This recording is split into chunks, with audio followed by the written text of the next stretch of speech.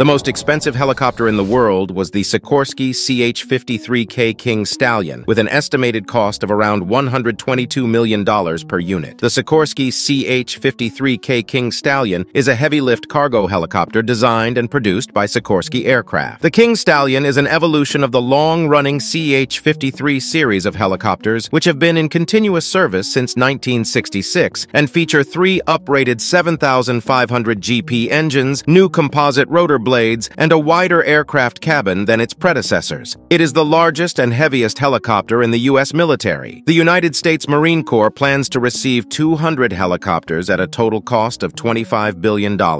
Ground test vehicle testing started in April 2014. Flight testing began with the maiden flight on the 27th of October 2015. In May 2018, the first CH-53K was delivered to the Marine Corps.